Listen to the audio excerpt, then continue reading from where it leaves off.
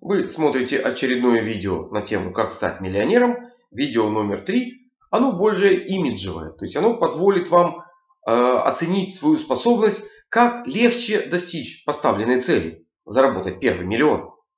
Вы же хотите работать легче, работать в удовольствии? Или, знаете, так с трудом, вам нужно, чтобы пыли много, шума было.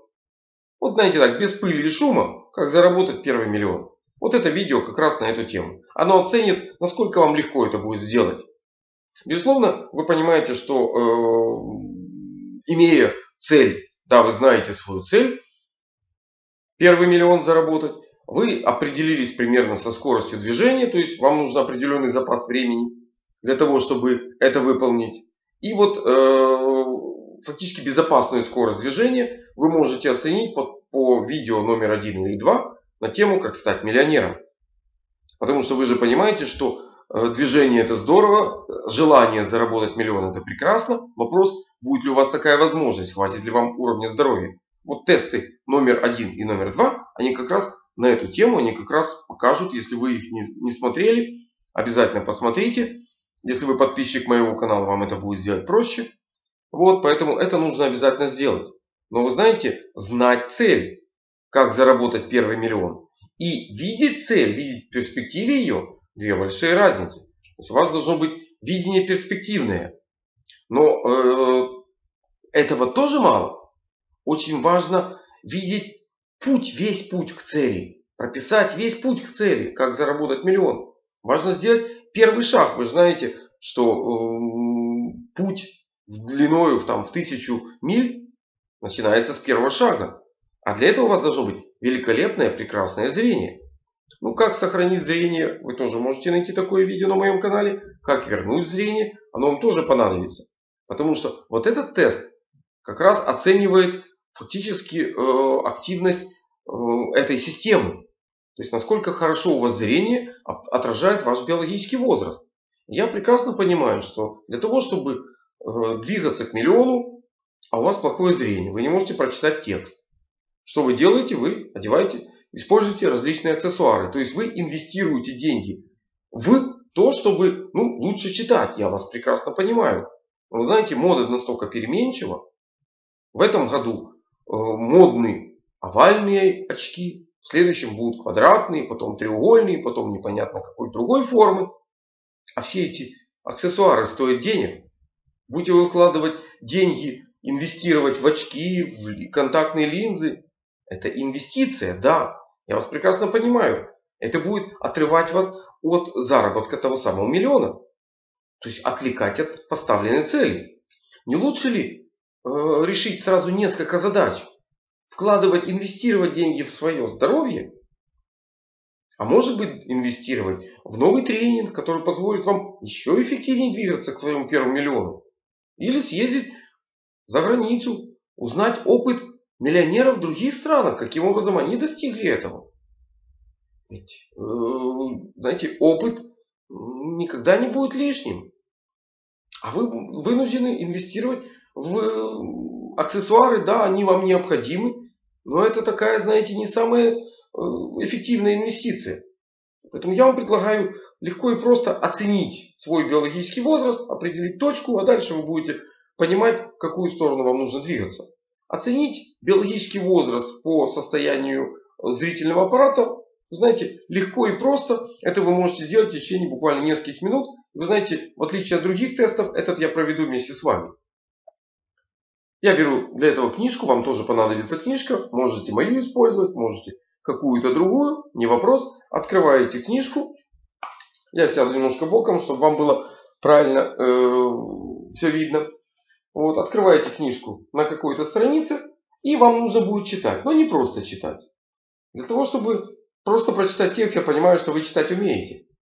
А задача немножко сложнее. Вам нужен будет индикатор. Индикатор самый простой, есть, я думаю, что у каждого в доме обычная измерительная линейка. То есть биологический возраст определяется способностью читать на максимально близком к себе расстоянии. То есть чем ближе расстояние, на котором вы можете читать текст, тем вы моложе тем лучше ваш орган зрения. И тем лучше ваш имидж фактически. Потому что вы знаете, ходить с очками это здорово, но это расписываться в том, что вы имеете определенный уровень нездоровья. Ходить, носить лысину тоже здорово, но это опять-таки уровень нездоровья. Знаете, значительно лучше носить, конечно, не парик, а родные волосы.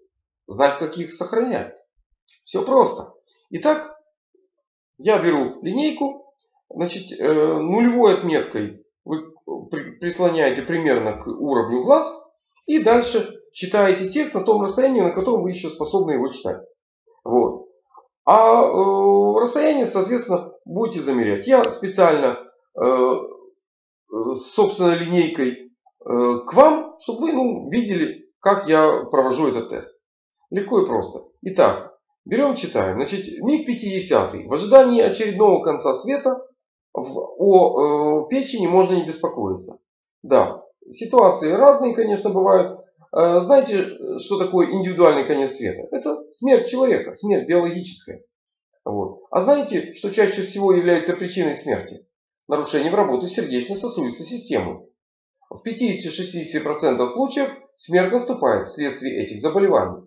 В состоянии сердечно-сосудистой системы играет роль три фактора. Мощность насоса сердца, вязкость крови, состояние сосудов, прочность и проходимость. Все они так или иначе связаны с работоспособностью печени. Печень посредством выработки специфичных белков обеспечивает прочность венозной стенки, ну и так далее. Я не буду вам зачитывать всю книжку. Как видите, я вот остановился на каком-то делении. Попробую показать вам. То есть вы видите э, его. Я... Ой, немножечко так. Итак, мое деление Ну, это 9 сантиметров.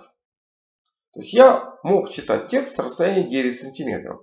Ну, давайте посмотрим биологический возраст, которым, э, которому соответствует это расстояние. У вас получилось другое, то есть вы можете, в принципе, остановить видео, попробовать почитать и дальше э, составите свое представление, то есть увидите, на каком расстоянии у вас это получилось. Вот. Э, оценки очень простые. Если вы читаете э, на расстоянии 71 мм, это биологический возраст аж 10 лет. Ну, вы понимаете, у детей хрусталик, он достаточно эластичный. Почему так происходит? То есть все очень просто. Есть хрусталик, он способен изменять свою кривизну и фокусировать э, изображение на сетчатке. И вы видите. Если хрусталик хороший, эластичный, то есть мышца его сжимает хорошо, кривизна изменяется хорошо, вы, приближая текст к себе, все равно способны его читать. Все прекрасно. Если хрусталик более такой жесткий, мышца его плохо обжимает, соответственно, он до какого-то уровня да, дальше фокусное расстояние не позволяет. Все. И фактически старение хрусталика это уменьшение его эластичности. И слабости мышц, соответственно, тоже. Поэтому биологический возраст очень просто проявляется. То есть, если человека хрусталик более такой жесткий, понятно, что здоровье уже далеко не то. Ну, э, цифру я вам свою сказал, вы ее увидели. В принципе, я делал это прямо перед вами, читал реальный текст. 200 страниц книги я не собираюсь перечитывать. Если вам она понадобится, не вопрос. Вы можете легко заказать. Тут 50 мифов, как не убить печень, как сохранить здоровье. И как дожить до того, того самого миллиона, потому что ну, это, отсюда зависит ваш биологический возраст. Значит, 71 миллиметр это 10 лет. 83 миллиметра это 15 лет. То есть 8 сантиметров и 3 миллиметра.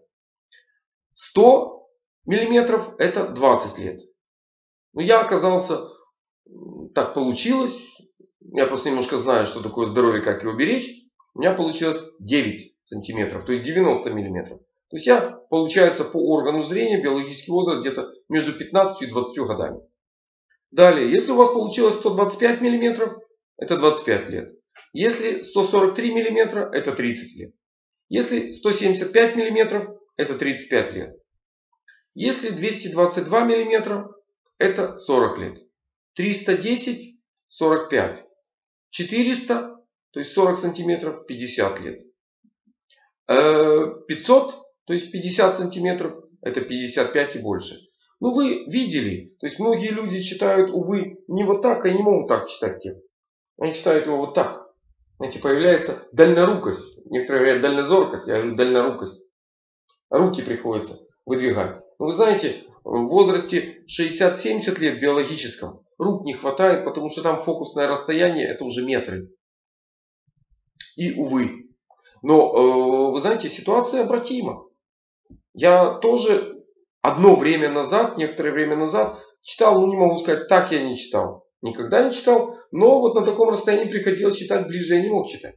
Я немножко занялся этим, я знаю, как это сделать. Видео, как сохранить, вернуть, улучшить зрение, есть на моем канале, не вопрос. Читайте, смотрите, улучшайте свое зрение. Если вам нужна более подробная информация, как это сделать с точки зрения целостного организма, потому что там великолепный, очень простой тест, как улучшить зрение с помощью банальной книги. То есть легко и просто нам часто говорили, что это вредно. Знаете, возможно вредно, чтобы пораньше одеть очки. Но для зрения очень полезно правильно читать книги и правильные книги читать. Вот. Не вопрос. Если вы считаете, что это видео полезно вашим друзьям, знакомым, не стесняйтесь, делитесь с ними. Узнайте их биологический возраст, пусть они узнают свой биологический возраст. Вы знаете, имея точку, это уже где-то руководство к действию. Либо мы можем ничего не делать в этом направлении, что все хорошо. Либо мы вынуждены что-то все-таки делать, если не все так хорошо, не все нас устраивает. Потому что носить очки это здорово, но вы знаете, жизнь без очков, она лучше, она красивее, э, обзор больше. Очки все-таки немножко ограничивают вас. Ограничивают ваш взгляд на окружающий мир и на те способности, как проще и легче заработать тот самый первый миллион.